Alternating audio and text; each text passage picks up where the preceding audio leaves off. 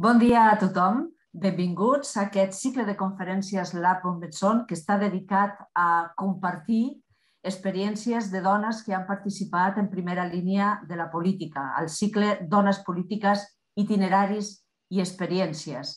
Eh, intentarem que sigui una conversa fluida en la que puguem tots participar d'aquestes reflexions de dones que tenen una experiència vital molt enriquidora i que ens permetran conèixer quines són, quin és el seu pensament i quines vivències han tingut durant aquest temps. Els recordo que poden participar eh, fent preguntes o aportant reflexions en el xat, en el xat que tenen en el canal. Jo els hi aniré traslladant, segurament no totes, perquè potser no, no dona temps per totes, però la major part que pugui i també recordar-les i recordar-los que aquesta sessió serà gravada i que, a part de seguir-la ara, podran recomanar-la i podran veure-la després a la web de l'app Bon Messon. Eh, dono la paraula a la senyora Lluïsa Moret, alcaldessa de Sant Boi i eh, presidenta de l'àrea d'Igualtat i Sostenibilitat Social de la Diputació de Barcelona. Bon dia, senyora Moret. Bon dia, Milagros. Gràcies doncs, per, per això, per haver acceptat aquesta invitació per dinamitzar i presentar aquesta taula rodona, com bé deies. Eh, la veritat és que per mi és molt important donar-nos a totes la benvinguda a, doncs, a aquesta, a aquesta taula que inicia el curs, que inicia just, just aquest segon cicle de conferències i d'espais de, i de reflexió en el marc del LAB, ja sabeu que el LAP és el Laboratori de Polítiques Públiques Feministes que impulsem i despleguem des de la Diputació de Barcelona amb una voluntat molt clara, que és tenir un espai de referència, un espai de reflexió, de debat, eh, doncs d'intercanvi d'experiències, com farem avui, i de coneixements, però sobretot volem que sigui un espai d'aprenentatge i d'apoderament de les dones, de les dones dels nostres territoris, dones que exerceixen lideratges en diferents àmbits. Òbviament, en l'àmbit institucional, per tant, doncs, en les alcaldies, en els municipis, municipis eh, dones electes, però també dones directives, dones tècniques de les corporacions, dones referents en els àmbits social, del teixit social, dones referents en el, en el teixit econòmic dels nostres entorns locals. Per tant, com bé, com bé veieu, és un espai doncs, plural en el que volem justament això, reforçar, apoderar, donar instruments, acompanyar els lideratges de les dones dels nostres territoris ser útils, sempre des de la utilitat pública. De fet, eh, ja sabeu que la Diputació de Barcelona, amb aquesta lògica supramunicipal, estem al servei dels 311 municipis de la província de Barcelona, oferim eh, doncs, instruments, oferim eh, estratègies d'acompanyament i aquesta és una que impulsem, òbviament, des de l'Oficina d'Igualtat i que té un objectiu claríssim, com sempre, doncs, a apostar i treballar a favor de la igualtat efectiva i, sobretot, eh, posar en valor i, eh, doncs, eh, jo crec que, més que posar en valor, fer visibles els valors dels lideratges de les dones i, sobretot, eh, com deia abans, també dotar-los d'aquells instruments i d'aquells recursos perquè cada vegada siguin més forts doncs, i més visibles. Enguany, eh, doncs, iniciem, com deia abans, aquest curs amb uh, aquesta tertúlia, que, també, com, deia, com bé deia la Milagros, eh, la Milagros Pérez Oliva, es desplegarà baix el títol eh, Dones polítiques, itineraris i experiències, perquè tenim avui, i permeteu-me, jo estic emocionada, doncs, eh, un elenco de dones fantàstiques eh, doncs que, que, que, són, que sou ja les nostres referents des de sempre i que eh, doncs, tenim moltes ganes d'escoltar justament això, els vostres itineraris i les vostres experiències, perquè, òbviament, des de la diversitat sou dones eh, doncs, això, que amb, amb singularitats i especificitats de tot tipus, ideològiques, polítiques, eh, responsabilitats, però jo crec que hi ha un element, elements comuns, és que sou, eh, això sou referents, sou líders, eh, eh, representeu lideratges feministes, lideratges eh, doncs, on el, els valors feministes de transformació han estat explícits en les vostres trajectòries, en les vostres, amb les vostres, eh, doncs, eh, en les vostres responsabilitats, en les responsabilitats que heu tingut, i per això ens agradaria doncs això, eh, doncs que ens agradaria i ens, ha, i ens va fer molta il·lusió convocar-vos i, i sobretot us vull agrair que acceptéssiu el repte. Eh? Per altra banda, jo, jo sempre dic que és molt important doncs, rescatar això. Vull dir, vosaltres heu, heu treballat, com deia abans, des de, bueno, cada un des del seu estil, des de les seves singularitats, des de, òbviament amb responsabilitats diferents, però una mica per sacsejar. Eh? Sou sacsejar estructures androcèntriques i patriarcals doncs, que, com sempre, jo crec que impedeixen i dificulten eh, doncs, no solament l'accés de les dones als llocs on es prenen les decisions, sinó el seu manteniment. Eh? No solament a vegades costa molt arribar, però després també costa molt mantenir-se.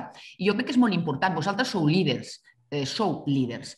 Eh, I el lideratge no té res a veure també amb el càrrec que es, es desenvolupa. El lideratge eh, doncs, eh, eh, continua després del càrrec. I això és el, eh, també és molt important. Encara que alguns o algú vulgui que s'invisibilitzin deliberadament. Per tant, nosaltres tenim clar que vosaltres sou líders, eh, que eh, allà on desplegueu eh, la, la, vostra, la vostra responsabilitat, la vostra feina, i que representeu valors de lideratge que ens interessen justament perquè els podeu compartir, perquè els podeu transmetre al conjunt de dones, eh, com deia abans, que estan eh, veient aquesta, aquesta xerrada, aquesta taula, eh, per streaming, que aprofito també per donar-los la, per donar la benvinguda i per agrair que s'hagin connectat. I sobretot, com us deia abans, eh, tinc eh, des de l'oficina, des de l'àrea, doncs el que volem és això, iniciar aquest curs amb totes, amb totes vosaltres, poder compartir, com dèiem abans, les vostres experiències i les vostres eh, doncs, aportacions, sobretot des d'aquesta lògica de generar un, una, una genealogia de, refer, de dones referents per a altres dones que estan en aquest procés d'accés o de manteniment o d'exercici de responsabilitats, amb uns entorns complexes i en un moment complex, no ens hem d'enganyar per molts motius, però que doncs, ens toca i volem ser-hi i hem de ser-hi. Jo crec que eh, hem de treballar totes plegades perquè aquests llocs on es prenen les decisions doncs, incorporin la nostra mirada, la nostra perspectiva, els nostres valors i sobretot eh, doncs, també hi, hi, hi participem activament amb les decisions. Doncs eh, res més, jo no em vull allargar. Eh, agrair i reiterar altre cop a, doncs, a, la, a la Mercè Serna, a la Manuela Carmena, a la Marta Selva i a la Mercè Conesa, felicitar-te per la nova responsabilitat que, que ara assumiràs i insisteixo, plaer, un plaer, un gran plaer de ser, de ser aquí i res, endavant, vosaltres teniu la paraula. Moltes gràcies. Moltes gràcies. Eh, Permeteu-me recordar eh, per a aquells que s'han incorporat en l'últim moment que eh, la conversa serà una conversa informal entre totes les participants, que es poden fer preguntes a través del xat, que jo intentaré anar introduint eh, al llarg de la conversa, que la sessió serà registrada i que, per tant, a part del plaer de compartir-la ara, eh, diríem, en, temps real, també podrem després trobar-la i poder-la poder veure i recomanar-la a la web de l'app Bonmeson. Eh, us deia abans que aquest cicle de conferències es dona el privilegi de poder compartir reflexions de dones, totes elles les que avui tenim aquí, que porten una llarga trajectòria trajectòria de lluita perquè les dones puguin ocupar càrrecs de responsabilitat i que si tenim les dades que tenim ara és en grandíssima part gràcies a dones com elles que des de fa molts anys venen lluitant per, aquesta, per aquest objectiu i que, a més, després han donat el pas de dedicar-se a la política, no només des del terreny de la mobilització ciutadana o de la creació de pensament, etc., sinó també assumint responsabilitats. I, per tant, tenen una valuosíssima experiència personal. Us les presentaré, no necessiten molta presentació, però crec que val la pena recordar algunes de les, de les, de les fites de la seva trajectòria. Maria del Mar Serna, Calvo. Eh, ella és, va ser consellera de Treball de la Generalitat de Catalunya entre 2006 i 2010. Començo les biografies citant el càrrec més important, perquè crec que hem de posar en valor aquests càrrecs. Eh? Però totes les altres aspectes de la biografia són igualment importants. Actualment és magistrada de la Sala de lo Social i abans havia estat directora de Relacions Laborals de la Generalitat en el govern presidit per Pasqual Margall. Va exercir també molt de temps com a advocada laboralista de la UGT entre 1977 i 1982 i ha estat professora de la Universitat eh, Pompeu Fabra i també inspectora de treball. Forma part de l'associació progressista Juezas y Jueces para la Democràcia i també és cofundadora d'una associació que té com a objectiu específic eh, incrementar la presència i la veu de les dones en el món de la judicatura, que és l'Associació de Mujeres Juezas d'Espanya. Eh, benvinguda, Mar. A la, Moltes a gràcies. Gràcies. Manuela Carmena, la nostra querida Manuela Carmena, va, va ser alcaldessa de Madrid. Eh, però la seva trajectòria comença mm, molt lluny, molt lluny. De fet, ella va ser fundadora eh, com a advocada laboralista d'un despatx que ens porta terribles records, que va ser el despatx d'Atocha, que va ser víctima d'un atemptat de l'ultradreta a l'any 1977 i va començar a exercir la seva carrera judicial al 1981. L'hem pogut seguir en molts itineraris des de les presons fins a molts altres responsabilitats en el món de la judicatura. Al 1986 va rebre el Premi Nacional de Drets Humans i va ser també consell, vocal del Consell General del Poder Judicial a proposta d'Esquerra Unida entre 1996 i 2009 i 2001. És una de les fundadores també de l'associació Juezas i Jueces per la Democràcia i quan ja va, se va jubilar de la carrera judicial va emprendre una iniciativa empresarial d'una tasca humanitària molt interessant i va passar també a la política. Llavors va decidir donar un pas. Ens costa que va costar convèncer-la perquè la vida política és una trituradora de la vida personal, però finalment va acceptar i va ser escollida alcaldessa i va ser alcaldessa de Madrid entre el 2015 i el 2019. Es va presentar a la reelecció i la seva candidatura va ser la més votada, però l'aliança de la dreta amb Vox va impedir que pogués continuar en el càrrec. Molta bienvenida, Manuela, a esta conversación en la que seguro que podemos aprender muchas cosas de tu experiencia. Gracias, gracias por estar aquí. Mercè Conesa eh, va ser alcaldessa de Sant Cugat del Vallès entre 2010 i 2018 i també presidenta de la Diputació de Barcelona entre el 2015 i el 2018. Actualment és directora de l'Institut Català del Sol, que és una empresa de les més importants que hi ha a Catalunya ella és advocada especialista en urbanisme i ordenació del territori i la seva formació s'ha completat amb màsters en dret i gestió per la Universitat Pompeu Fabra, programes d'alta direcció d'empreses per l'IESE i programa de lideratge de gestió pública també pel IESE, a més d'un altre en lideratge i innovació en polítiques de SARE. Eh, aquí veiem un altre itinerari com molt de moltes dones que necessiten, a més, eh, diríem, eh, segurament eh, fer palès que la seva formació és molt alta per poder competir amb homes que segurament tenen una formació a vegades molt més baixes que elles. Eh? I en canvi, en el cas de les dones, aquest és un factor comú sempre. El 2018 va ser nomenada presidenta del Port de Barcelona, càrrec que ha exercit fins aquest dijous passat, que s'ha incorporat a l'Incasol, i recordo que del Port de Barcelona eh, me va cridar molt l'atenció un programa que ella va impulsar que es diu Smart Port que eh, intentava portar aquesta importantíssima infraestructura complexa, eh, diríem, el repte de la digitalització i de la descarbonització, és a dir, incorporar tots els objectius de, de la lluita contra el canvi climàtic, cosa que és molt important. Bé, eh, moltes gràcies per ser aquí, Mercè. Has tingut diferents responsabilitats. També ens agradarà molt poder sentir la teva experiència perquè combina les dues coses, política i gestió, gestió concreta de grans infraestructures. Moltes gràcies, molt contenta de compartir la taula amb totes vosaltres. Molt bé. I finalment eh, tenim a Marta Selva Masoliver, que la coneixem d'una llarguíssima trajectòria com a dirigent del moviment feminista, com a activista i militant del moviment feminista, ella és expresidenta, ha sigut presidenta de l'Institut Català de les Dones entre 2003 i 2010. És llicenciada en Història Moderna i Contemporània per la Universitat Autònoma de Barcelona i té moltes publicacions relacionades amb aquesta matèria. Professora de Teoria i Anàlisis del Film i la Televisió a la Universitat Autònoma de Barcelona i també és professora de la Universitat Rovira i Virgili a més, participa en el postgrau de la Diplomatura de Pau i del Màster de Gènere i Comunicació també a la Universitat eh, Autònoma de Barcelona. Eh, bé, ha col·laborat, l'haureu vist, en diferents mitjans de comunicació, a TV3, a Ràdio 4, a Catalunya Ràdio.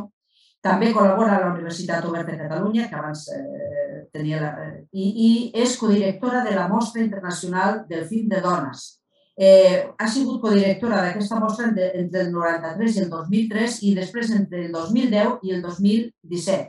I, a més, forma part i és impulsora de la cooperativa Drac Màgic. Ella hi ha estat allà implicada entre el 79 i el 2003 i entre el 2010 i el 2017. Bé, eh, una llarguíssima també trajectòria, Marta, ens hem trobat en moltes manifestacions de dones i la teva experiència des de la visió i des de l'acadèmia també de l'experiència de la política segur que ens serà molt interessant. Moltes gràcies per ser aquí. Gràcies a vosaltres també. Moltes gràcies, Milagros. Bé, voldria començar aquest diàleg amb una qüestió. És a dir, sabem tots que les lleis, les lleis que promouen la igualtat d'accés de les dones als càrrecs públics i que promouen la igualtat de condicions eh, són imprescindibles, però molt sovint comprovem que no són suficients, perquè hi ha altres factors que fan que encara que les lleis faciliten aquest camí, no arribem a tenir les proporcions que serien les que es mereixem per demografia, però també les que es mereixem per mèrits i per formació. He repassat aquest matí algunes estadístiques de la pàgina de ONU Dona, perquè allà es reflexa com evoluciona el món, i en diversos dels apartats es venen dient si seguim aquest ritme no, no arribarem a la paritat, entenem per paritat el 40%, no arribarem a la paritat, hi ha casos en, fins a finals de segle, en molts àmbits. No? En aquests moments només hi ha 22 països en els que hi hagi hagut una dona que sigui cap de govern o cap d'estat. Només 22 dels 200 i pico que hi ha.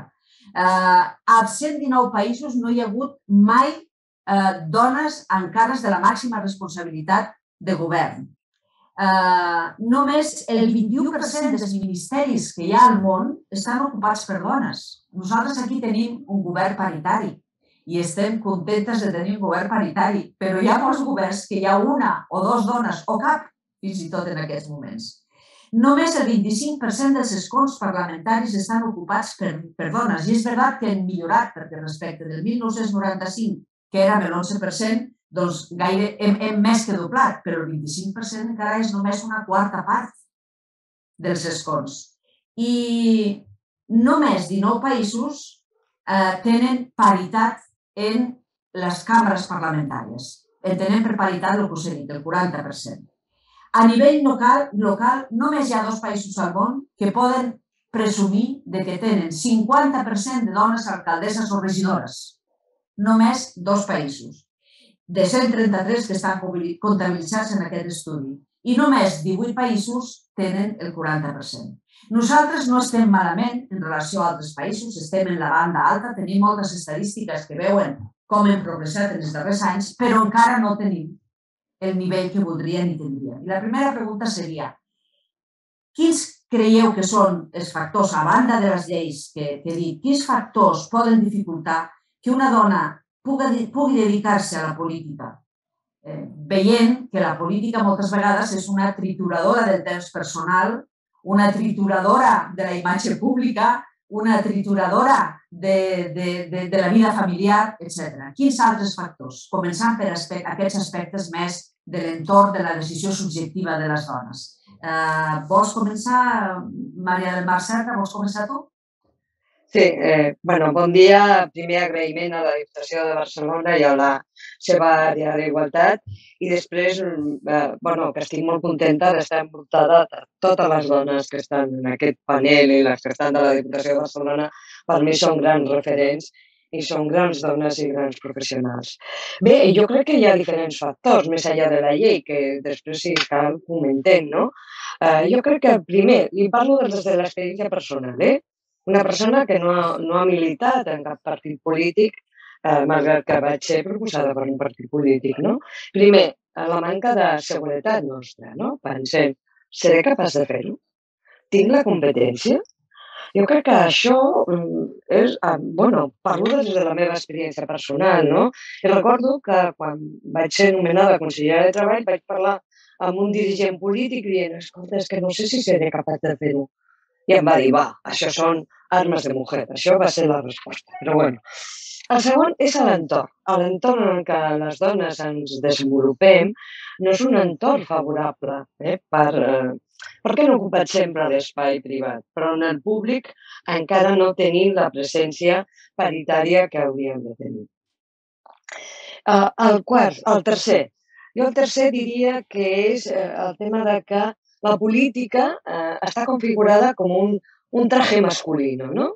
És a dir, està configurada des d'una perspectiva totalment masculina de 365 dies, 24 hores dedicades a la política. Jo crec que això és el que limita, limita molt. I a les nostres mans, en les que han estat, en les que estan i en les que seran, està la responsabilitat de canviar. Eh? Hi ha polítiques que s'estan practicant, de la política de les reunions, com s'organitzen, quin horari es fan, eh, quina durada tenen, quan es taquen les llums del centre de treball, quan es desconnecta eh, els, els mòbils, els ordinadors, què es fa amb sopars? Jo no sé, però jo recordo amb un malson el tema dels sopars, que t'havies passat treballant 12-14 hores i havies d'anar a un sopar. I després eh, del sopar parlar. L'únic que vaig aconseguir va ser que el sopar fos, el, eh, el Parlament fossin al començament del sopar i, i, i després eh, eh, la gent es quedava tranquil·lament i jo marxava.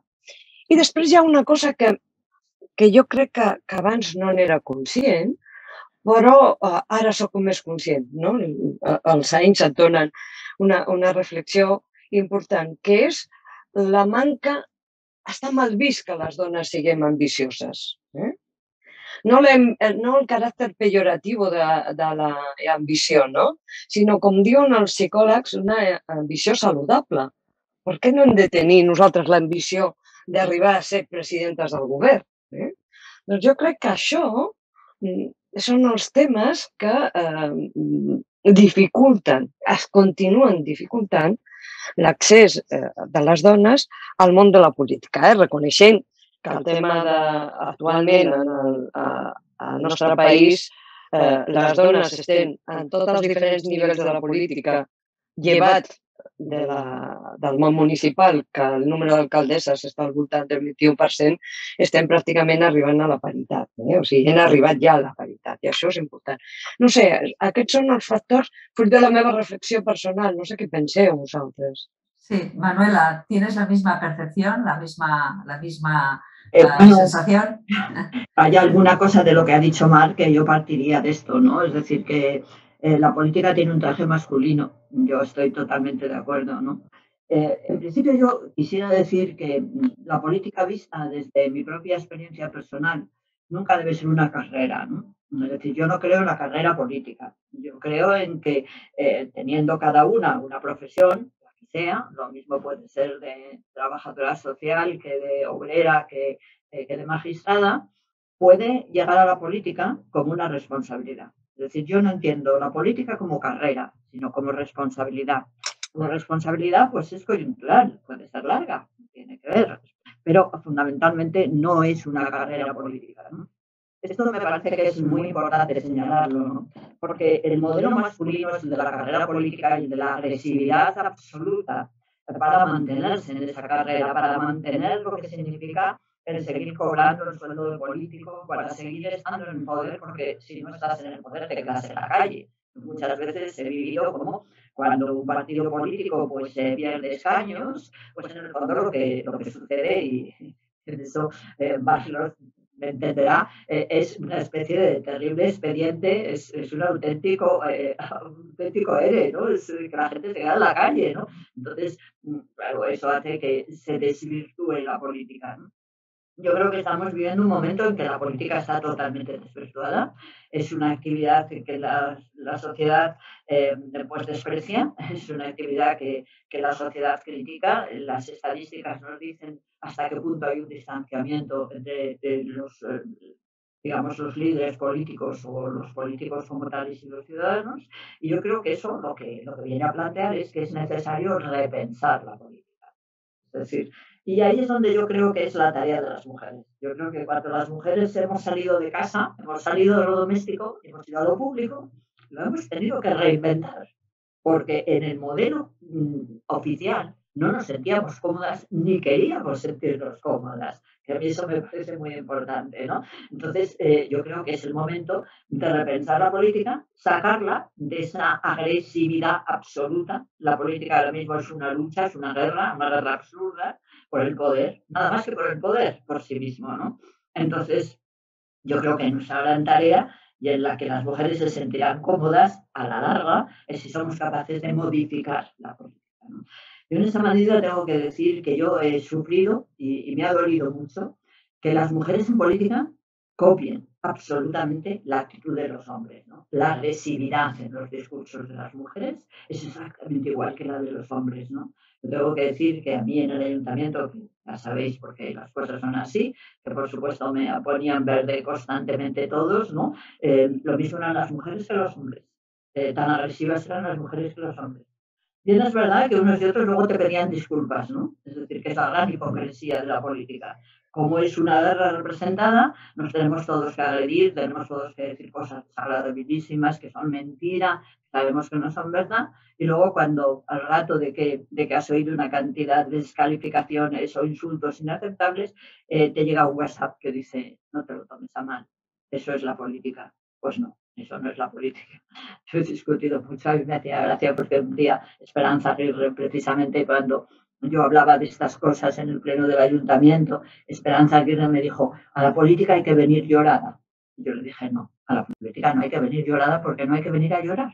A la política lo que hay que hacer es eh, venir a colaborar, venir a trabajar. Es una tarea preciosa, interesantísima, fundamental. Durante un tiempo tienes que llevar eh, la batuta en el marco institucional en el que te encuentres, pero la tienes que llevar con no sé si se ha ido No, no, no te escuchamos. Bueno, pues la tienes que llevar eh, con los elementos típicos que la gestión personal y social te ha enseñado en la vida. Nadie puede gestionar nada si no lo gestionas basándote en la empatía, porque además el elemento de la empatía es el elemento determinante de la evolución de la humanidad. Entonces no puedes gestionar ni lo individual, ni lo colectivo, ni lo social tal y como hoy día la política eh, ha hecho su trinchera, que es la trinchera de una lucha sin cuartel, absurda, teatral y que no es lo que necesitamos. Gràcies, Manuela. Eh, eh, la impressió d'aquesta guerra sense quartel? En la, en la... Eh, eh, és, és la, la pregunta és complexa perquè m'ha agradat sí. molt, Milagros, que ens aportessis dades perquè efectivament hauríem de preguntar-nos per què encara costa eh, que hi hagi dones eh, que facin el pas a la política. No? I les dades eh, corroboren que una cosa és eh, doncs, eh, aquesta igualtat sobre el paper, la igualtat reconeguda a les lleis, i l'altra cosa és la, la realitat. No? I després, potser, si tenim més temps, desenvolupem aquest eh, tema. En el meu cas en particular, jo sempre he vist la política lligada a la gestió. És a dir, a mi m'ha agradat, jo vaig entrar en política municipal perquè volia ajudar a transformar el meu poble, a transformar la meva ciutat. I això anava lligat amb unes responsabilitats de gestió. Per tant, a mi m'agradava entrar a la gestió no, urbanística, al plànol de la ciutat, anar a veure l'obra i com aconsegueixes aquesta transformació. Un bon amic, eh, bueno, de fet va ser el que em va introduir en el món polític, que va ser l'alcalde de Sant Cugat, on jo vaig entrar a gestionar doncs, urbanisme, eh, ell em va dir, a la política és molt fàcil entrar-hi, és molt difícil sortir-ne. I aquí em refereixo a les carreres que deia la, la Manuela Carmena. No? O sigui, um, quan, quan intentes tornar a la gestió des d'una menys primera línia política, se't segueix visibilitzant com que estàs a la política i tu dius, bueno, he, he estat a la política eh, fent d'alcaldessa, fent de presidenta de Diputació, però hi ha un moment que jo vull tornar al meu hàbit de gestió, al meu espai no? més de, de, de gestió del que jo sé fer, que soc advocada urbanista, i això costa molt. Aquest és un primer problema. Per tant, pot ser que moltes dones que puguin plantejar això diguin, escolta, després podré tornar d'on vinc o on a mi m'agrada, en primer lloc. Una altra dada que per mi és fonamental és que no hi ha uh, role model, no hi ha eh, referents. Per tant, clar, en el meu cas, tothom, com que va ser un procés on l'alcalde va eh, deixar l'alcaldia per passar a ser conseller del govern de Catalunya, eh, el, no hi havia un role model, no hi havia hagut cap dona alcaldessa, eh, però tothom, com per, eh, des de la naturalitat, deia, bueno, ho assumiràs tu, ho assumiràs tu, però no, no hi ha aquest role model. I això sí que jo crec que és una de les missions que ens hem de posar dones que hem tingut l'oportunitat d'exercir aquests càrrecs. que puguem ja ser visibilitzades de manera que hi hagi a darrere nostre ja noies joves, nenes que volen ser alcaldesses o volen eh, eh, des de eh, un coneixement, no, no per ser per una carrera política, sinó per transformar, perquè el seu coneixement des de doncs, educadores, des de professores d'universitat, des de doncs, el, seu, la, el seu coneixement que hagin pogut fer, com des d'aquest coneixement, exercint el lideratge polític, poden transformar. No? En el meu cas, com a barreres, tu deies, quines barreres? Jo tenia una barrera molt gran, crec que tenia tres nens petits. I tenir tres fills de 12, 10 i 6 anys em, em frenaven molt i, per tant, em, vaig haver de fer un procés de consens familiar molt important i perquè també eh, quan els meus fills van ser més grans, jo vaig estar 8 anys a l'alcaldia i prenies decisions sobre l'oci nocturn, per exemple, doncs això repercutia amb els meus fills adolescents i, per tant, t'emportes una motxilla a casa i això també no tinc cap mena de dubte que això pesa. No? Per tant, per mi, jo us diria, el, el tema del, del no hi ha role model, el tema de la conciliació, quan després, si voleu, parlem no? quins mecanismes tens els horaris, la conciliació, eh, com la comparació, no? La comparació, l'alcalde ho feia d'aquesta manera, l'alcaldessa ho fa d'aquesta altra. La comparació contínua i la conciliació, on vaig canviar els horaris de l'Ajuntament, així de clar, vaig, vaig canviar els horaris, vaig canviar els horaris de les reunions. Això eh, és qüestionat en un primer moment. Després s'adapta. Però aquestes són, per mi, una de les grans barreres. Moltes gràcies. Eh, Marta, Marta Selva, eh, la teva reflexió al respecte d'aquesta primera introducció? Bé, bueno, jo estic bàsicament d'acord amb tot el que s'ha anat plantejant i en tot cas agafaré una sèrie de fils de les reflexions que s'han fet i intentaré ser i exposar-ho breument.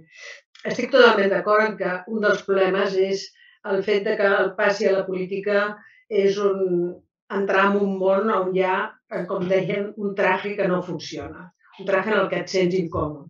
Llavors, davant d'això, hi ha diferents estratègies que nosaltres vam intentar tirar endavant, que era bàsicament mm, canviar la forma, com a mínim, de plantejar-te aquest pas per la política. No acceptar aquest traje, eh?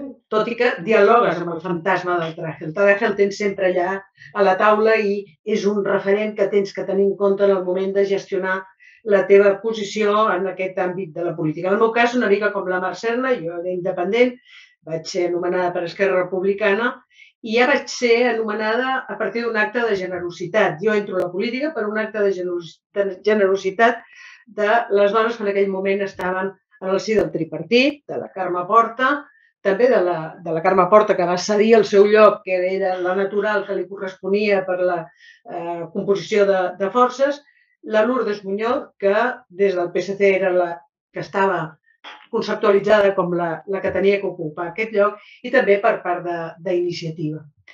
I a l'endemà de que se m'hagués anomenat a mi, a part de poder haver-hi doncs, mal de panxa en algun moment, a l'endemà ens vam posar a treballar les tres dones o les tres responsables de la coalició de govern i l'equip d'independents que estàvem a l'Institut Català de les Dones per poder acordar les formes de fer factible un projecte que era molt hereu d'una trajectòria i unes expectatives i unes reflexions que des dels feminismes s'havien fet envers a les necessitats de la política, de la política pública.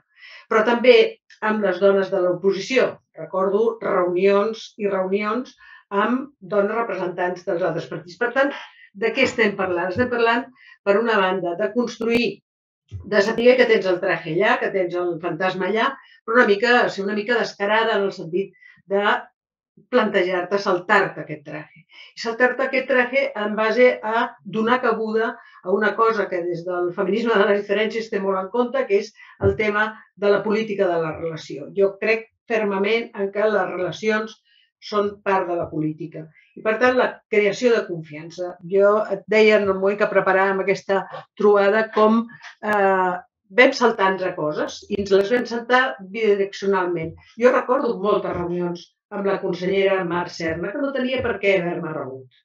perquè jo era un organisme autònom, un institut, en fi, una cosa enmig del seu follon, de la, de, la, de la magnitud de la seva gestió, doncs no, eh, no quasi et diria que en tot cas podia haver delegat perfectament. Doncs no, ens reuníem amb ella, ens reuníem amb la consellera Geli, ens reuníem amb els consellers i conselleres. És a dir, treballar una relació no d'horitzontalitat i de jerarquitzada, sinó amb tot el respecte i amb tota la lleialtat, però tenir en compte també aquesta possibilitat de saltar-se aquest traje que és com un, com un, com un fantasma que tenim, que tenim allà. Per tant, jo crec que eh, davant d'aquest traje, d'aquest fantasma, el que convé és canviar les formes de la política. I les formes de la política es canvien amb lleis, evidentment, amb, amb lleis que reconeguin i que facilitin a través de les quotes, a través de, de tota una sèrie de mecanismes, però sobretot a través també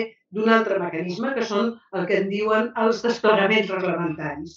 Que jo vaig aprendre que una cosa són les lleis i l'altra són els desplegaments eh, reglamentaris, que és el lloc on es concreta la política i on es fan possible, en tot cas, aquests petits canvis.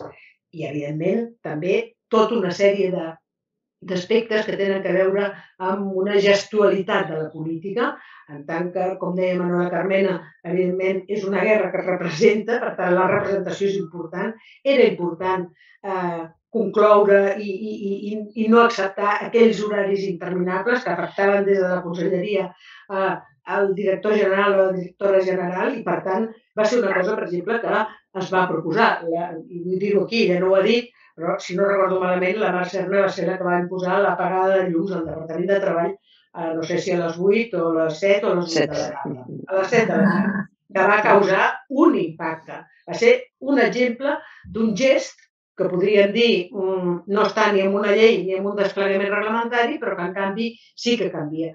A mi, per exemple, estava eh, l'Institut Català de les Dones doncs, eh, era eh, contínuament trobades a eh, commemoracions d'associacions de dones per tot el territori. Bueno, jo vaig exigir que davant de cada celebració, cada acte que se'm convidava, exigia una reunió prèvia on jo prenia contacte amb aquella realitat. Després podien venir al dinar i, i el que sigui, però donar-li també la volta a una, a una pràctica que en aquells moments havia, estava una mica consolidada com de fèries i festejos i, i poc més. Per tant, evidentment que cal amb lleis, evidentment que cal eh, aquest desplegament reglamentari, però sobretot el que cal també és eh, reconèixer que aquest model que ens incomoda, que incomoda les dones de la política, és un model que l'hem de reduir. És allò de hi ha un elefant a l'habitació, no? Escolti, redueixi-ho, redueixi-ho, és un escarbat. I, I jo crec que en aquest sentit tot el que es pugui fer de cara a reforçar la, la, la força de les dones en la política és molt important perquè està superant també aquell síndrome de la impostora, com deia la Mar també, no? Eh, jo sabré, jo vaig, jo vaig dir que no, que no ho volia fer, perquè jo seria la que, la que em venia a sobre, tot i que era un institut petitet i una, una acció de govern mm, petita, però que tenia, per exemple, una càrrega de transversalitat i d'interseccionalitat enorme. I, evidentment, el que calia en aquests moments és dir, bueno, superar aquest síndrome de la impostora. Bueno, el que no sàpiga fer ho aprendrem a fer i poder també interlocutar amb aquesta confiança. I una altra cosa important de, la, de, de cara a construir la confiança és eh, tractar també un altre, un altre esquema, que és el fet de que eh, a la política estem, eh, normalment se l'explica o s'explica a través de lideratges únics jo crec que les dones que hem treballat sempre des de la cooperació entenem que és imprescindible la relació amb la cooperació per tal de superar les diferents situacions que se'ns puguin plantejar. És important també en la política tenir la, la, la consciència de que no val anar de per lliure, d'anar sola o d'anar sola. Jo crec que de ser, hauria de ser una exigència. No, no, escolti, jo vull treballar amb un equip dir, una altra cosa seran els protocols de contractació de no sé què, de no sé quantos, però tenir un equip amb el qual tu puguis treballar i tenir també, no tenir cap vergonya, cap vergonya a sentir-te la necessitat, sentir la necessitat de la cooperació amb d'altres. I aquesta cooperació a vegades és amb les persones que estan en la mateixa línia de pensament que tu i a vegades és amb persones que estan en una altra línia de pensament. Però que cal arbitrar aquests escenaris de diàleg, d'interconnexió i de, eh, bueno, de reivindicar per la política l'empatia, la cooperació, el treball amb equip, la generació de confiança, és a dir, el fet de que jo em pugui fiar de la declaració de l'altre i, evidentment, tolerància zero. Amb això estic d'acord amb el que diu també Manuela Carmena, tolerància zero, aquesta verborreica eh, agressivitat que presideix tota la política. Jo crec que les dones, les polítiques haurien de desertar d'aquesta pràctica. Doncs eh, crec que eh, tot el que heu parlat fins ara realment ja es dona un ventall realment molt ample, molt sintètic, però molt suggerent d'aquest tipus de problemàtiques. En el xat, la, la Laia Franco fa, fa una observació que penso que és molt adient. Les dones van molt buscades, molt buscades en política també i en càrrecs institucionals i de gestió, però de segones. Quan es tracta de passar a la primera, perquè són molt bones, eh, diríem, expertes en moltes coses i, per tant, eh, molts polítics les busquen de segones, però després, a l'hora de decidir qui va primer, en aquell lloc llavors ja les coses no són tan fàcils. Per això us volia introduir, a part de si voleu fer comentaris eh, sobre el que vulgueu, de lo que heu parlat fins ara, volia introduir el tema de si penseu que els instruments que tenim ara, allò, les llistes cremallera, les, eh, les, les lleis d'igualtat, la, la, totes aquestes normes que obligarien a que a l'IBEX hi hagués més conselleres, per exemple, etc, si creieu que són suficients eh, en aquests moments i si s'haurien de ser més estrictes o quin tipus de mesures es podrien posar perquè les dones eh, deixen de ser les eternes segones i passin a tenir moltes vegades el número 1. Eh? Eh, en l'ordre que vulgueu. Comenceu ara, no, no, no voldria fer un ordre així que sigui mimètic, sí. sinó preneu la paraula qui vulgueu ara, la que s'animi abans i després ja a continuació la que vulgueu. No, no, ho dir jo? Vinga, jo. Vinga, vinga Mercè, eh, jo, jo el que diria és que si nosaltres, com tu deies, Milagros, eh, totes estem d'acord que tenim instruments, no? tenim eh, doncs, unes lleis que ens exigeixen paritat i, de fet, si ens mirem el programa de la Unió Europea, no? de l'estratègia europea en relació a l'avançar amb la igualtat, eh, que és eh, aquesta estratègia que la, la, la, la doncs, eh, la von der Leyen està tirant endavant, realment veiem que a nivell europeu, hi ha una anàlisi molt interessant que va fer el CIDO, eh, és desigual el resultat.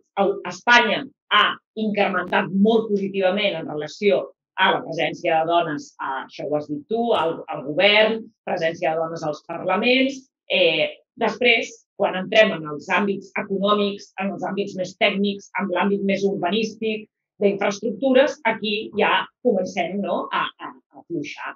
I no tant en el sector públic, sinó precisament en el sector privat.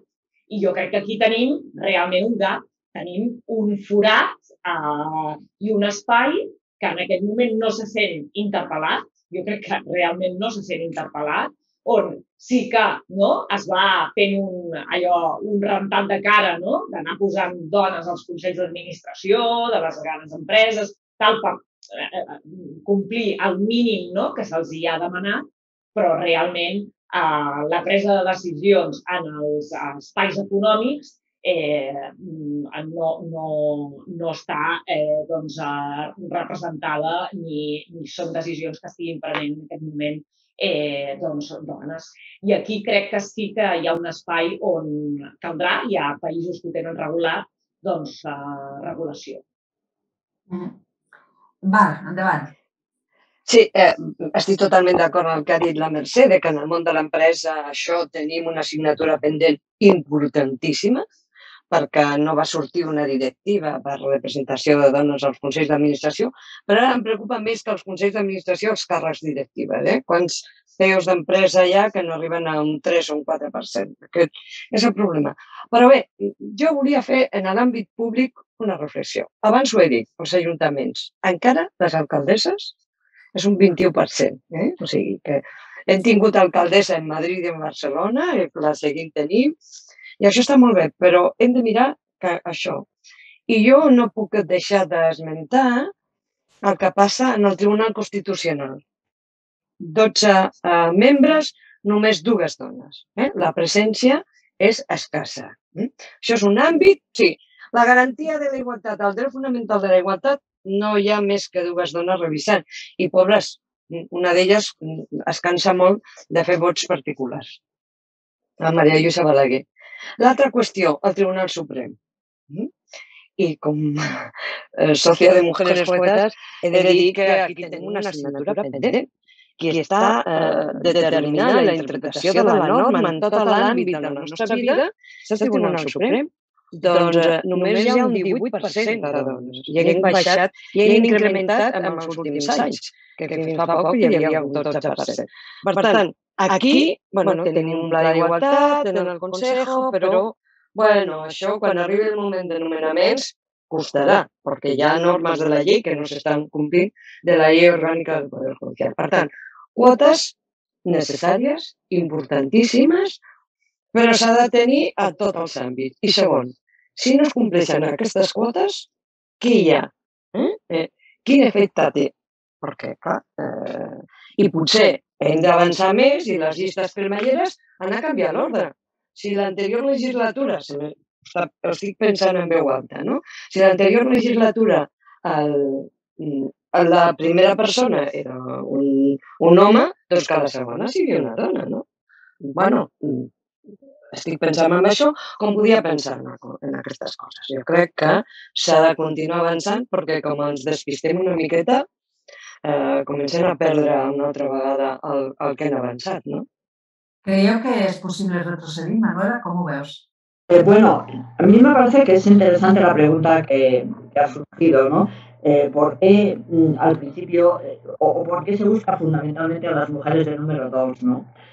Yo creo que aquí hay cambios y yo creo que son cambios muy interesantes, ¿no? Porque están empezando a surgir mujeres número uno que realmente revolucionan un poco todo, ¿no? Y yo creo que da miedo, a los hombres les da miedo, porque en el fondo, de verdad, es que no hemos perdido de vista algo muy importante, ¿no? En el derecho, y yo creo que más va a apoyar, eh, hay siempre la figura encomiable del padre de familia tendrá la diligencia del padre de familia, la madre, madre de familia, ¿no? ¿Y la madre qué? Entonces, lo que yo creo es que ahora estamos en la época de las madres. Entonces, lo que, lo que, eh, la figura de la madre, eh, el padre se echa a temblar y la da, la da, digamos, codazos, porque no quiere que siga adelante, ¿no? Estamos en un momento apasionante en ese sentido, ¿no? Yo creo que es el momento en el que es muy importante mantener esas disposiciones legales que han ayudado, sin lugar a ninguna duda, a que haya una paridad, pero es muy, muy, muy importante em, el que tengamos claro que la política tradicional está dentro de ese traje masculino y que para dar ese salto necesitamos a la imagen de la mujer que debe tener una prioridad, porque evidentemente el papel ahora no es de los padres de familia, sino de las madres de familia. I, i crec que, que hi ha també aquesta, altra, aquesta qüestió que ara mig apuntada la, la Manuela Carmena, que és eh, de quina manera estan aquestes dones en política, de quina manera estan exercint aquests càrrecs. Jo crec que, que és el kit de la qüestió. És a dir, mmm, si, si simplement et poses el traje, mmm, doncs passarem desapercebuda. És a dir, no té cap conseqüència. Quan s'aposta perquè allò val la pena i pot mobilitzar vot, pot mobilitzar eh, acció cívica de, de suport i de més, quan realment aquestes persones que estan al capdavant, alcaldesses, eh, caps de l'oposició o, o gent de l'oposició o que estiguin al govern, és igual, presenten noves maneres de fer la política. En aquests moments, jo crec que la ciutadania està necessitada de, gest, de, gesto, de gestos, però gestos amb, amb càrrega política i, i, i eficaços. Eh? No estic parlant de, de fer una, una bola de coloms, que d'alguna manera realment estiguin plantejant el canvi aquest necessari, perquè és des de les dones o des de les pràctiques dels feminismes que això es produirà. No perquè eh, tinguin la veritat de res, sinó perquè han articulat tota una, una història de dinàmiques i tot una, un plantejament de la, del que hauria de ser de, de com relacionar-se amb els conflictes, de com relacionar-se amb les problemàtiques, amb, els, amb les crisis, etc, que és realment la solució civilitzatòria. Llavors, aquest altre marc clàssic de la política, eh, diguem-ne, a cop de, de, de, de decret, simplement, està, està escardant-se per tot arreu, entre altres coses perquè s'està demostrant bastant ineficaç, perquè està sent víctima de la seva pròpia tensió de les forces que en un sentit o altre actuen allà dintre.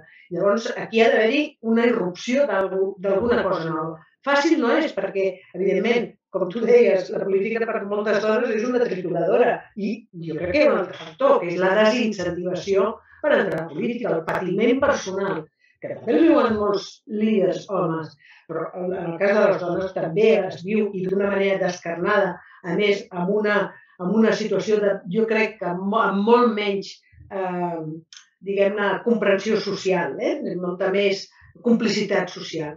Llavors, jo crec que això també és un, un, un tema important. Per tant, de veritat, crec que ha d'haver-hi també gestos de la política institucional d'homes i dones que posin fre a aquesta eh, voracitat de la trituradora. Perquè, clar, per què et poses allà dintre?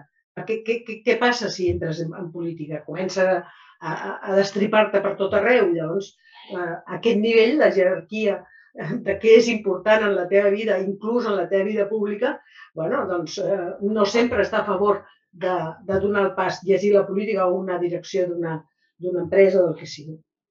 Eh, després... Jo, Milagros, si, sí, digues. Sí, sí, sí, endavant. Amb el que elles comentaven, um, sí.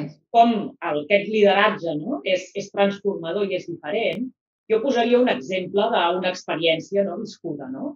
en un, en un moment doncs, de crisi econòmica i abordar doncs, una sèrie de retallades de, de serveis no? de, i de serveis públics o bé de, de contractes que té l'administració. Doncs quan es demana, i en aquest cas vaig demanar, dic, mireu-me quines són les contractes més grans i veiem eh, en quina mesura les podem reduir. Doncs una de les primeres contractes que em van posar sobre la taula per reduir era la que afectava el personal eh, de neteja i precisament a les senyores de, de, que, que són senyores, bàsicament, les que doncs, s'ocupaven precisament de tenir tots els despatxos, tot l'edifici en perfecte estat perquè els altres poguessin treballar. Clar, em va semblar eh, bueno, d'una absurditat. O sigui, quan vaig tenir a, a les diferents opcions eh, que havia d'escollir en aquell moment, perquè efectivament s'havien de reduir despeses, eh, doncs aquella, aquella proposta la vaig desestimar, però la vaig desestimar fent la reflexió a l'equip i en el cap de servei que l'havia portat de dir, fixa, si eh, iniciem la nostra rebaixa a través d'aquesta doncs, contracta, a qui estem afectant, no? a quin col·lectiu estem afectant, quins són els sous o salaris que tenen aquestes eh, persones, tal. mentre que eh, mirem eh, com podem fer cirurgia fina i abordar o iniciar aquesta reducció de despeses des d'una altra mirada. Per tant, aquesta transformació de no quedar-te en el primer que et plantegen, de tenir el teu esperit crític i la teva mirada sobre en què repercuteix allò que tu acabaràs decidint, perquè has de tenir molt clar que acabes tu decidint. No?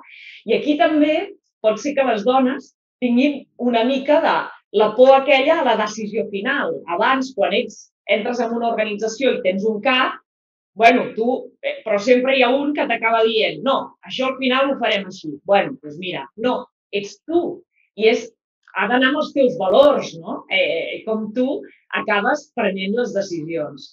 I no sé, era un exemple, com que ens vas demanar que poséssim exemples sí, sí, sí. Dic, bueno, doncs, aquesta qüestió que és, pot semblar tan una minúcia, no és una minúcia, és important en una gestió transformadora. Eh, Manuela eh, feia senyals amb el cap, segur que ella estava pensant també en alguna altra minúcia. ¿eh? No, no, me, me encanta, estoy totalmente de acuerdo, hay que tomar esas decisiones, ¿no? Eh, a veces en pequeñas cosas y a veces se nota que, que no son pequeñas, pero que son graciosas, ¿no? Eh, yo la verdad es que una de las cosas en las reuniones en las que yo participaba, yo exigía siempre que Ay, ahora sí que sembla que... O sea, que hay horas de comienzo y no hay horas de finalización. De finalización. Yo es una cosa que odio, es decir, eso de que alguien te diga, oh no, mira, llego tarde porque es que ha sido una reunión muy larga. ¿Qué es eso, no? Es decir, eh, una reunión larga está perjudicando a las personas que te están esperando detrás, ¿no? Oye, pues pon un orden, ¿no? Nosotros en la Junta de Gobierno empezábamos a las nueve y a las doce inmediatamente se acababa, ¿no? Y había veces que nos dejábamos temas, pues nos habíamos organizado mal, habíamos gestionado mal nuestro tiempo, ¿no? Pero bueno, eso es una cosa pequeña y yo tengo que contaros también que a mí me ha divertido mucho el que yo he estado cocinando en el ayuntamiento. Allí en el ayuntamiento de Madrid había una cocina muy grande que había hecho el señor Gallardón para las empresas del catering, ¿no? Y a mí me pareció que a mí me, yo sé cocinar y por qué no iba a cocinar yo. Y entonces, pues cuando yo invitaba a personas al ayuntamiento, yo hacía la comida, ¿no? Entonces eso generó mucha sorpresa, ¿no? Porque me decían, bueno, ¿y, ¿y, cómo empleas tu tiempo tan valioso en hacer la comida? No, no, es que el tiempo en hacer la comida es valioso. Es decir, porque a mí me parece que el acto de hacer comida para los demás es un acto enormemente empático, es eh, un acto propio de lo que yo entiendo como la madre de familia social, ¿no? Es decir, eh, y bueno, pues acabaron acostumbrando, ¿no? Y a mí me daba mucha libertad porque no tenía coste ninguno para el ayuntamiento. Yo podía entonces invitar a quien me parecía, eh, porque yo iba a hacer la comida, ¿no? Pero eso generó actitudes muy graciosas, ¿no? Algunas personas se sentían violentas, ¿no? Eh, invité a directores de banca, directores de periódicos, a propios políticos, ¿no? Y algunos se sentían un poquito incómodos al principio, decían, me veían a mí con el delantal y se sentían... Me encanta. Son, pero son estos gestos que, en el fondo, como decías, eh, son desafiants. En el fons, planteges un desafiament i descol·loques al Exacto. que porta el traje. Pero lo descolocas, entonces creas un espacio nuevo. Yo creo que si algo han enseñado los feminismos es la necesidad de crear palabras nuevas, pero también espacios nuevos, espacios en donde sea posible que fructifiquen o que fructifiquin altres, altres històries. Recordo una, una, una trobada que vam tenir amb, amb líders en relació al tema de la, de la cultura de pau en relació a l'article aquell de les Nacions Unides que parla de la necessitat de que les converses de pau hi siguin les dones, que hi havia una, una dona que explicava una, una experiència en, en un inici de taula de negociació entre eh, dos, eh, diguem-ne, bàndols enfronta, enfrontats i un eren les, los tamil i els altres els del, els del govern eh, indonesi i que es van trobar, eren grups de dones diferents, els que van iniciar aquestes converses, i es van trobar en un moment en què les que venien de l'Estat, diguem del govern oficial, van fer un viatge horrorós, es van estar, estaven absolutament trasbalsades, marejades, vomitant, etc etc. i les líders tamils van tenir que cuidar-les. I les, el següent pas de la negociació va ser molt, molt més fructífer, que no vol dir que es posessin d'acord que resolguessin el conflicte, però una mica de, de sangrar, fer una mica de, de, de, de, de, de neteja d'aquest humus de, de, de malviure i de, i de, i de, i de ràbia inútil, no? de ràbia contra l'altre i generar aquests espais bueno, que, que desconcerten i que creen uns nous escenaris d'empatia. Sí, sí.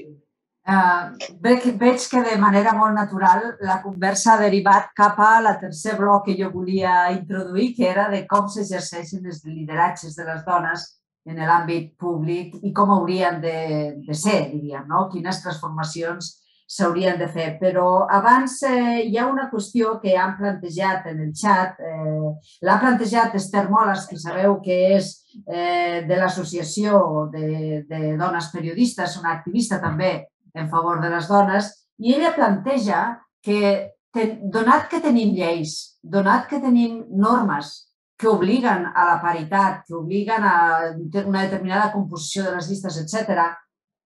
Per què es permet que s'incompleixen? És a dir, si s'incompleixen, com podem aconseguir... Per, per què s'incompleixen i no passa res, per entendre'ns? Eh? Llavors, eh, per què no tenim més força de lobby, les dones, per aconseguir que les lleis es compleixin, almenys les que tenim. Ja no dic millorar-les, almenys les que tenim, no? Després entrem, seguim, si voleu, amb el, amb el tema de com ha de ser aquest lideratge. Però aquesta qüestió penso que és important perquè genera potència. Ja, ja tenim les lleis, ja tenim les normes, no es compleixen, no passa res. Això és desplegament reglamentari, milagros. És a dir, la llei contempla que hi hagi un, un, un servei social, no sé què, bueno, desplegament reglamentari i pressupost. Això per començar. En qualsevol llei, bueno, vosaltres sou juristes, jo no, no sé si... A mi em semblava que era fonamental, perquè clar, l'anunciat de la llei eh, sí, és important i arbitre i el que vulgui, però quan concreta, sobretot pel que fa a les exigències a altres uh, sectors socials, és important que estigui ben, ben valorat. I després perquè no té cost, això que dius. Eh? Jo sé que, bueno, i sabia, ara no, no estic al dia d'aquest tema, però que a França mm, moltes, molts partits preferien pagar la multa que, que incorporar les dones que els tocava. Si no recordo malament, eh? Parlo de França, però que hi ha gent que prefereix pagar la multa. Mm, perquè l'altre eh, pot ser susceptible, evidentment, de crear performativament un altre escenari. I, bueno, això no, no, no, no es contempla per part d'amplis sectors i la llei, les lleis eh, que fan referència als drets de les dones són lleis a vegades una mica fluixes en, pel que fa a tot el tema, diguem-ne, no de, de, de càstig, perquè evidentment no és la forma, ni molt menys, perquè s'hauria de, de, de generar un altre tipus de dinàmiques, però evidentment també hi ha, en aquest cas, bueno, quina és la contrapartida no fer cas d'una llei, no? Jo, jo si em permeteu, en el, perdona, sí. Marc, en el, no, tranquil·la. em refereixo de nou a l'estudi aquest, que és molt interessant, del CIDOP de transversalitat de gènere i poder d'influència, que han escrit Beatriz Navarro i Mercedes Sanz, que comenta precisament això, no? O sigui, a, a, si, si ens situem a l'estat espanyol o a Catalunya i on hi ha una regulació clara en relació al sector públic, el sector públic està complint. És a dir, els partits polítics, a nivell intern, cada partit polític en els seus organismes decidirà, jo entenc que la gran majoria eh, doncs, eh, deuen tenir paritat, però sí que els partits polítics estan obligats. I en aquest moment ho han de complir. O sigui, han de complir a la, la, la, la paritat, a la, la, i, i sí, eh, o sigui, per tant, jo crec que els resultats en percentatge que en aquest moment l'estat espanyol està liderant els, els resultats i els, els, els rànquings, eh, realment a nivell públic són importants, a nivell de govern i de Parlament. Hauríem d'analitzar la composició de l'administració, per exemple, de la Generalitat. Que aquest és una anàlisi que crec que, si no recordo malament, el va fer la Cambra de Comerç de Barcelona. I quan fas l'anàlisi conjuntament amb l'Institut Català de les Dones i quan fas l'anàlisi dels càrrecs, dels alts càrrecs de la Generalitat, aquí ja comencem a, a, a patinar. Eh? Ja comencem a veure que aquests percentatges ja no es comencen a complir com es complirien. Eh? Però per mi, jo vull insistir, eh, la regulació, hi ha estats que sí que han regulat a nivell d'empresa privada, la regulació d'empresa privada eh, i d'empreses cotitzades encara és molt, molt laxa, i, com deia la Marta, aquí no hi ha un, una conseqüència. O sigui, hi hauria de ser, al meu entendre, eh, una conseqüència reputacional. O sigui, de la mateixa manera que en aquest moment les empreses no, s'estan preocupant tant pel canvi climàtic i per doncs, la lluita de reducció d'emissions i eh, algunes fan greenwashing per, doncs, perquè és reputacional, aquest hauria de ser i ho hauríem de posar sobre la taula ja com un tema reputacional. Eh, per tant, aquí jo crec que hi ha un camí, un camí per, per córrer. Però, evidentment, la regulació és fonamental, al meu entendre, i a veure, o sigui, jo que m'he dedicat molt a la gestió i a la política, la, la meva part jurídica està molt empobrida. Per tant, aquí tenim dos molt bones juristes, juristes que segur que poden aportar molt més que jo. Marc i Manuela, ara teniu la interpel·lació sí. directa, però deixeu-me fer una, una votada, una pregunta provocadora eh, no seria possible arbitrar instruments una mica més coercitius, com per exemple, que ja es fa en altres àmbits. Les empreses que no compleixen la normativa d'igualtat no podran contrafer contractació pública. Per exemple, hem de poder decidir a qui donem diners. Sí, sí, sí, escolta, a veure, això de la llei de del sector públic. A veure, jo crec que en aquest país tenim un problema en general, eh? eh és la bretxa entre la llei i la realitat. Fem moltes lleis, però després no es compleixen. Aquí, primer problema. Segon, jo crec que aquests canvis eh, legislatius haurien d'anar eh, necessàriament i obligatòriament a un canvi de cultura. Eh? Perquè la reputació és el, el pas posterior. Eh? Si tu vas canviant la cultura de que les empreses han de tenir direcció de dones, la, el salari de les dones ha de ser igual dels homes, i tot això s'ha de promoure aquest canvi, perquè la llei, si no, és paper mullat. Primera qüestió. Eh, segon, la llei de contractes del sector públic. Eh? Eh, això, tenim una llei de contractes del sector públic que prohibeix contractar eh, contractar a, la, a les empreses que no tinguin plans d'igualtat però només parla d'empreses de 250 o més treballadors, quan el pla d'igualtat és obligatori en aquests moments a empreses de més de 100 treballadors i treballadores. Però no exigeix que es compleixi, només s'han de tenir un pla. Sí, un pla, però després en les condicions d'adjudicació eh, també està el tema de la igualtat eh, en les condicions d'adjudicació. La Mercè sap més de contractes del sector públic que jo, però jo crec que això és una roca, eh? perquè jo quan vaig estar al departament és una cosa que intentava i no havia forma, perquè els òrgans de contractació et deien no, no, això no està a la llei. S'ha posat a la llei, però de forma molt lleu. Mm? Eh, eh, segon tema, jo crec que els plans d'igualtat, també les administracions públiques, tenen l'obligació de tenir plans d'igualtat. Jo de l'administració de la Generalitat no he vist cap plan d'igualtat. De l'Estat sí que hi ha, i el plan d'igualtat és l'instrument per anar a avançar a, dins de, de les administracions a la igualtat. En els càrrecs aquests mitjans, que aquí tenim el sostre de vidre, eh, o el terra enganxós que es diu, i les dones ens quedem aquí a la, a, a la meitat. Per tant, des de les administracions públiques es pot fer en moltes coses. I des de les empreses també. Eh? Només un 20% de les empreses tenen registrat en aquests moments plans d'igualtat quan és de totes les que estan obligades. Què, què fem amb això? I la inspecció ha fet 150 o 160 actes. A veure, aquí tenim un problema i tenim un problema greu per avançar. Per això, les lleis, la meva conclusió, les, meves, les lleis per si soles, eh, si, si no tenen mecanismes de canvi cultural i mecanismes d'incentiu i mecanismes de repressió en el cas d'incompliment, no serveixen per a res. No sé, Manuela qué pensará, pero soy un poco... Manuela la primera y después Marta. Bueno, muy rápidamente yo tengo que deciros que algo que a lo largo de toda mi vida profesional ha sido... Perdona, Manuela, perdóname un poquito. ¿Puedes ponerte el ordenador un poquito más lejos? Que te vemos solo la mitad de la cara. ah, sí, te. Estupendo. Bueno, pues os contaba que para mí un objetivo a lo largo de toda mi vida profesional ha sido conseguir que las leyes se evalúen es decir, porque estamos acostumbrados a que se hace una ley y ala, se queda ahí. Y nadie sabe si ha valido para lo que era el objetivo para lo que la ley se hacía. No somos capaces de evaluar nunca las leyes, ¿no? Yo eh, insisto, insisto, no me voy a dar por vencida, sigo dándole vueltas. Fui a ver a la presidenta del Congreso, Maricel, y le dije, por favor, empezar la evaluación. Nada, todavía no me han hecho caso, ¿no? Pero no pasa nada. Hay una, además, junta de evaluación legislativa que depende de presidencia de gobierno, sigue sin funcionar.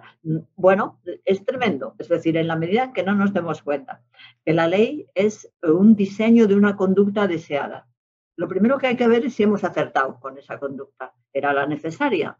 ¿Valía para resolver el problema que queríamos resolver o no? Y después ver, eh, claro, si es necesario eh, hacer más coerción o poner más medios para que se pueda cumplir, porque las leyes no solamente se incumplen porque no haya la coerción suficiente, sino también porque a veces no hay medios o a veces porque las leyes son absurdas, que también es un tema muy importante tenerlo en cuenta, ¿no? Yo creo que en este sentido ha habido mucho de la política de igualdad que se ha convertido en un auténtico eh, modelo burocrático, ¿no?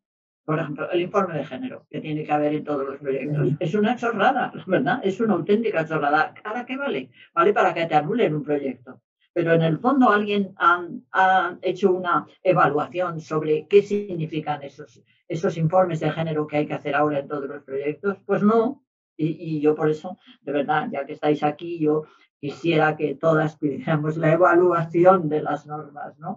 Que cuando salga una ley, inmediatamente a los tres años, cuatro años, se evalúen, no se evalúan las leyes, nada más. Uh, Marta, sí, tu volies. Sí. Molt, molt ràpid. Primer, volia sortir en defensa de l'informe d'impacte de gènere. Jo lo defiendo a ultranza. Quin és el problema? Que evidentment no hi ha mecanismes per fer realment... Seria una intervenció ex ante a la llei, és a dir, que hi hagués un, un, un, un, un anàlisi, una, un estudi del possible impacte de gènere d'una determinada eh, norma que, que es vulgui aprovar, decret o desplegament reglamentari, més exactament igual. I aquí entrem en un altre element important, que és la eh, validesa dels indicadors amb els quals ens movem. És a dir, els indicadors que avaluen les polítiques són indicadors androcèntrics, en la majoria de casos. És a dir, no tampoc s'ha donat el salt per dir, bueno, jo què he de mirar d'això? Per què les dones no accedeixen, no sé què? No, és per un tema normatiu, és per un tema... O hi ha altres factors, com és la conciliació, com és el tema del repartiment corresponsable del treball, etc etc. I, evidentment, aquest, aquests indicadors i aquestes avaluacions ens donarien, ens informarien molt millor. Quan vam estar a l'ISO català de les dones, un dels treballs que ens vam proposar, que no vam poder acabar, era precisament treballar amb els indicadors i subministrar als, eh, als que realitzen, els departaments que realitzaven aquestes polítiques, com a mínim una guia de com havia de plantejar-se ex ante i posteriorment als processos d'avaluació, amb el que estic totalment d'acord amb el que deia eh, Manuela Carmena, és important que les lleis s'avaluïn, però ja és important també que, que tinguin un punt de partida sensat, que no siguin una cosa que no serveix absolutament, absolutament per res. I això em sembla fonamental com a canvi també de la política pública. Hi ha un tema que en l'àmbit, per exemple, cinematogràfic està passant. Totes les pel·lícules quan es presenten amb una subvenció tenen una sèrie de punts, que si és un director, si és... No, hi ha unes trampes. Eh? Col·locar algú per fer veure que després aquesta persona surt... Eh, bueno, en fi, és a dir, aquí eh, no és un tema nominal, sinó que és un tema que, que s'ha traduït i s'ha volgut portar lo nominal, però que en el fons és de, per remoure totes les estructures. I per remoure aquestes estructures fan falta excavadores més profundes. I aquestes excavadores necessiten d'aquests indicadors i necessiten d'aquesta pràctica avaluatòria no solament de les lleis, sinó de les polítiques públiques. I aquí diu que la gran llei d'un govern són els seus pressupostos. És important que els pressupostos tinguin un informe previ d'impacte de gènere. No és igual que un ferrocarril passi eh, a unes hores. Per exemple, tot el tema de la gestió del temps i els transports, que és un tema mm, surreal i que està present. O el tema de mobilitat, o el tema... Estem parlant de qüestions que no solament afecten a les polítiques d'igualtat, sinó que afecten per la transversalitat del que significa la perspectiva de les dones en la política pública afecten a tots els àmbits, a la salut. Ara, ara, per primera vegada, de manera genèrica i àmplia, i això, Milagros, tu has batallat per això des de fa molt temps, és eh, s'està parlant de la perspectiva de gènere en la pràctica sanitària. Quants anys fa que la Carme Valls i el grup del... Ai, sí, sí. Quants anys fa que el CAPS estan advertint sobre això, creant xarxes de dones per la salut. No hi ha hagut manera que això estigui incorporat a les polítiques de salut? Encara s'ha fet lo de, lo de l'infart, però hi ha tantíssimes, tota la indústria farmacològica, escolti, doncs no le compro. Sobre el tema de la vacuna del Covid, què impacte tiene o no? Bueno, sí, un problema de regla. Igual no, igual, però jo vull veure aquest impacte de gènere, vull veure aquesta política, aquesta pràctica comercial, en aquest cas, amb el suport del diner públic, perquè hem posat diners públics, han posat diners públics, vull veure-la avaluada respecte al que és tenir en compte que hi ha una societat i una, una, una població que hi ha homes i dones. Una frase, una frase. Digues, digues, una, una qüestió, estic d'acord totalment en l'avaluació i a l'informe de perspectiva de gènere, que és preceptiu, que és obligatori, però el problema és que no és vinculant. I aleshores és un informe més. És, que, és que hauria de ser vinculant. Eh? O si no, justificar per què no s'adopta dins de la norma del programa polític allò que diu l'informe de perspectiva de gènere. Sí, sí, eh... d'acord. Tornem, tornem a estar en el desplegament. Sí. Eh? Me lo bueno. concrete, me lo concrete. Aquest, aquest apartat eh, veig que dona molt de sí perquè realment hi ha molt a millorar, ja es veu. Eh, el que passa és que eh, havíem deixat una mica penjat tota la part aquesta més de com s'exerceix el lideratge, del lideratge, quins canvis s'han d'introduir. I aquí volia introduir-vos unes preguntes que hi ha en el xat. Hi ha una participant que pregunta eh, quines conseqüències creieu que té el fet de que les dones tinguin més baixa permanència en la política? I jo pregunto, i per què? Per què les dones abandonen abans la política que els homes? Abans ja heu insinuat que hi havia el tema de la lluita per la cadira i que cada elecció era una mena d'erto, no? I que potser les dones amb això ja no hi compten, però per què? Quines conseqüències té que les dones abandonin abans? I hi ha una pregunta de la Laia Doltra eh, per la Manuela Carmena específicament que diu, entenc que és necessari que les dones entren en la política institucional. Ella fa la pregunta, diu, però tant esforç compensa, Manuela? I això té a veure amb la qüestió de com es pot exercir el lideratge, si és satisfactori, si no és satisfactori, si la lluita per canviar el lideratge eh, ve a ser una càrrega encara més pesada que la lluita per arribar al lideratge. ¿eh? Bueno, eh, yo creo que, eh, no sé, me parece que La sensación que yo tengo de lo que significa el liderazgo está muy relacionado con el contenido, eh, digamos, de vida que una persona mm, pone en marcha para su desarrollo personal. ¿no? Eh, el liderazgo, eh, de alguna manera, yo lo entiendo nada más que como quizá un elemento, digamos, de, seguimiento o de, o de apoyo por por, no sé, quizá por la claridad en el momento determinado de establecer unos objetivos o algo así, ¿no? Entonces, eh, yo insisto en que eh, para mí la política institucional es, como decía antes, eh, alguien lo ha dicho y me parece que era, que era, era, era Marta que me había dicho que a veces pasar de la política vital a la política institucional es un acto de generosidad. Y yo creo que así hay que entenderlo, es un acto de responsabilidad y la responsabilidad asumida siempre tiene algo de generosidad. Entonces, eh, yo los eh, liderazgos lo veo muy relacionado con, las vidas de cada una de las personas y muy especialmente de las mujeres. Em, ahí hay un tema que, que, yo me atrevo a insinuar que no ha salido ahora y es el que mm, el movimiento feminista nunca utilizó el partido para llegar a, cambiar eh, la sociedad, ¿no? Y yo creo que ese es un tema muy interesante. El feminismo ha sido un movimiento, un movimiento constante que ha tenido unos éxitos extraordinarios y nunca ha recurrido a los partidos, Entonces yo creo que eso puede explicar por qué eh, las mujeres normalmente se encuentran incómodas en, en, algo que no tiene que ver con lo que ha sido nuestra trayectoria, nuestra mochila que ha sido el feminismo como movimiento. La actitud de asumir las mujeres la necesidad del cambio para llegar a la igualdad, para llegar a la paralidad, para llegar también, yo diría, a la dirección de la sociedad, ¿no? Porque yo creo que, lo he dicho antes, vuelvo a insistir, creo que entramos en un momento en el que deben dirigir la sociedad las mujeres, ¿no? Es decir, creo que el papel de la madre de familia es mucho más importante que el del padre de familia ahora. Jo, Milagros, sí, eh, Digues. Reflexionava ara no, amb el de les carreres. Sé que està estudiat que efectivament les dones tenen carreres més curtes en política. El per què jo no ho sé, no, no us ho puc contestar.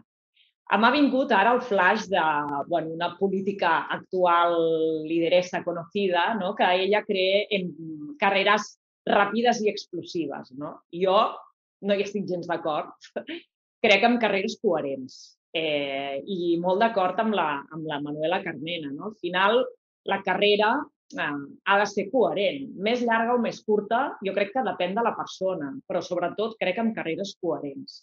I a nivell del lideratge, a mi el que em sembla, i, i, i bueno, no sé, a vegades penso que tenim molta formació, també és com una resposta al, al síndrome de la impostora, no? que sempre et sents que necessito formar-me més perquè potser no en sabré prou. No? I després, quan et vas a formar, te n'adones a dir, ah, és que això ho estava fent, però no sabia que, que estava estudiat, que hi havia una, una metodologia, que hi havia uns senyors de Harvard o de no sé on que havien no, dit que se devia liderar d'aquesta manera. I resulta que, que tu, sense saber-ho, no? o com a madre de família o com a persona doncs, de la societat, que has aplicat sentit comú, i doncs, has anat liderant d'aquella manera. Per mi hi ha dos claus en el tema del lideratge. En, jo entenc el lideratge quan creix, el, o sigui, tu, transform, o sigui, tu a, creix el teu equip amb tu. És a dir, no crec, i això ho ha dit, crec, la Marta a l'inici, no? O sigui, crec que en el lideratge, quan ets capaç de fer créixer la gent que tens al teu voltant. Si la gent que tens al teu voltant no floreix, si tu la tapes, si tu la limites, eh, és un lideratge que no aporta perquè no és transformador i no és constructiu. I en segon lloc, per liderar, tu has de saber què vols liderar. O sigui, i per tant, per mi és molt important el projecte. Quin, quin projecte ofereixes? No? Eh, per mi, quan vaig, eh, potser, eh, jo he fet moltes coses, però, però jo el meu projecte original era, era Sant Cugat, no? I és un projecte que el, que el vaig treballar molt, i, i, però el vam treballar conjuntament i, per tant, per mi era molt important tenir molt clar no? i definir què venim a fer, què vinc a fer jo aquí, definir-ho, eh, alinear a, a tot l'equip eh, què vinc a fer jo, què venim a fer nosaltres. Eh? S'entén parlant en plural.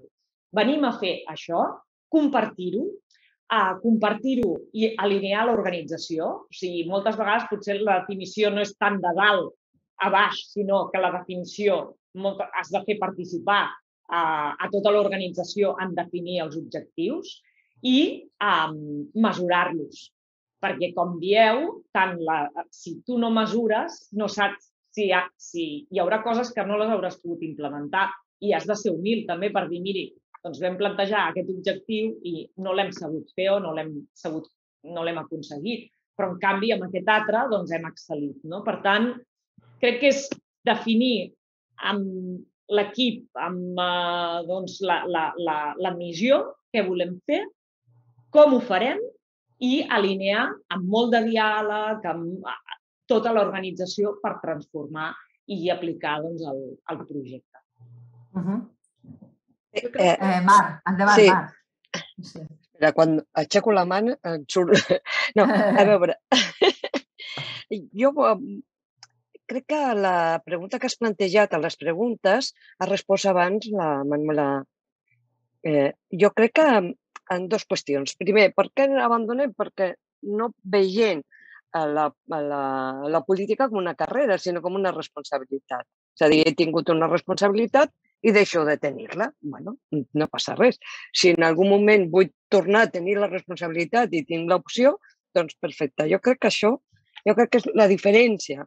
I després, en la, en la forma de lideratge, també ha donat la resposta, no? Quan la Manuela feia referència a això de cuinar i una madre de família social. I penseu que en el model de lideratge femení, tant dins de l'empresa com de la política, estic d'acord amb el que deia la Mercè, aportem els valors que estem acostumades. No és un tema de que som més gestes o que... No, és el que estem acostumades a practicar en l'àmbit privat. No? Tot allò d'empatia, eh, eh, treballar en equip, horizontalitat, escolta activa, col·laborar, més participativa, no és l'ordeno i mando, que és el lideratge més masculí. Per tant, jo crec que això és el que portem als diferents àmbits públics, allò que estem acostumades a fer dins de l'àmbit eh, familiar. I després jo crec que eh, això no exclou que hi ha dones que practiquin un lideratge totalment masculinitzat. Per què? Perquè no tenen referents, no? I, i sempre a mi m'agrada eh, fer esment a una, a una frase que li vaig escoltar a la Michelle Bachelet, eh?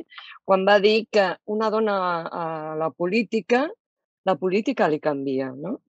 Però si hi ha moltes dones a la política, les dones canvien la política. Jo crec que això és el canvi que necessitem. I necessitem referents eh, com la Manuela, com l'Ada, com eh, totes vosaltres, eh, per canviar, eh, canviar la política. Si no, i, i, i fa poc, eh, en el govern, ha canviat una cosa molt important. Un vicepresident primero se ha marxat que era una forma de fer política, eh, diguéssim, molt més masculina, no poso més qualificatius, i entra una vicepresidenta segona en la seva substitució, que ella és ferma, perquè és ferma en les seves conviccions, però utilitza unes altres formes de convenciment, no? de mantenir allò que... I jo crec que hem d'anar per aquest camí. Nosaltres no hem de re reproduir les formes de lideratge masculí. Marta, quedes tu? No, no, jo crec que en tot el, bàsicament d'acord amb tot el que s'ha dit, però crec que falta un, una pota, que són els partits polítics. És a dir, no és que les dones sempre abandonin la primera línia de la política de manera voluntària, sinó que les aparten de la primera línia. Jo conec moltes dones en la, de l'època en què jo estava a l'Institut Català de les Dones en els partits polítics, que en aquests moments, i no per falta de competència, no per falta de ganes, no per falta també d'ambició inclús, eh? Eh, doncs estan fora de la política per la incomoditat que els seus plantejaments i les seves formes de fer, i així parlant pràcticament de tot l'espectre, eh? parlant des de l'esquerra fins a la dreta, pràcticament aquestes dones han expressat formes que d'alguna manera no convenien a unes estructures androcèntriques que a la vegada formen part d'aquesta trituradora. Eh? Els propis partits són una trituradora d'experiència de, política femenina i sobretot de no reconèixer-la posteriorment, és a dir, vaja, totes aquí suposo que tenim algú al cap, no cal, no cal nomenar... Hi ha gent que se'n salva, eh?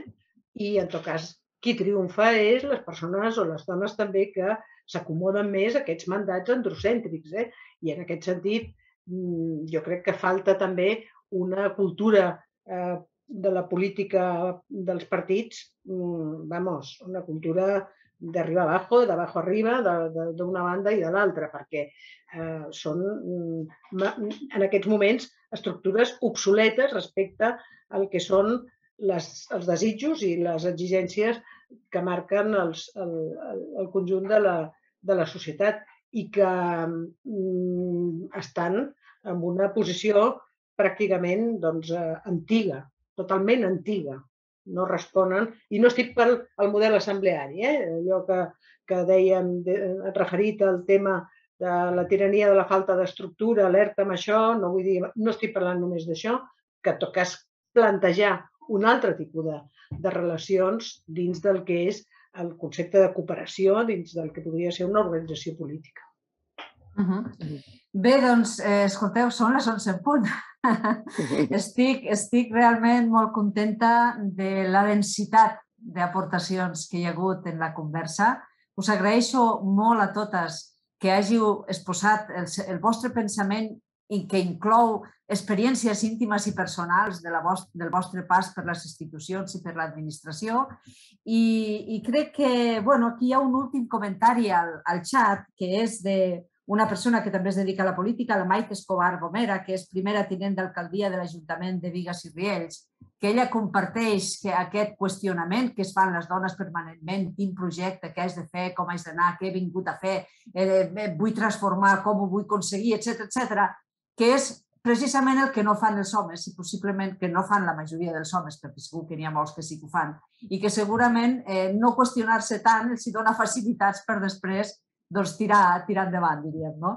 Uh, hi ha molt de camí per fer, realment, molt de camí. Eh, jo també estic convençuda, com la Manuela, que el temps que ve és el temps de les dones, que ja han manat prou anys i prou temps els homes amb uns criteris de masculinitat que estan en qüestió i que ara el que cal és nous paradigmes i que això eh, les dones tenim l'oportunitat de portar aquests paradigmes. Moltes gràcies a totes quatre per a les vostres reflexions, per la vostra trajectòria i per ser això tan important que ha sortit al llarg de la conversa, que és que les dones necessiten referents. I, per tant, els referents que tenim és molt agradable, és molt d'agrair que vulgueu eh, exposar-vos i vulgueu participar en la creació de pensament i donar-vos a vosaltres mateixes com un servei més, eh, aquest moviment de les dones, eh, en aportant les vostres reflexions i la vostra experiència. Moltíssimes gràcies. Moltes gràcies. Gràcies. Gràcies a totes.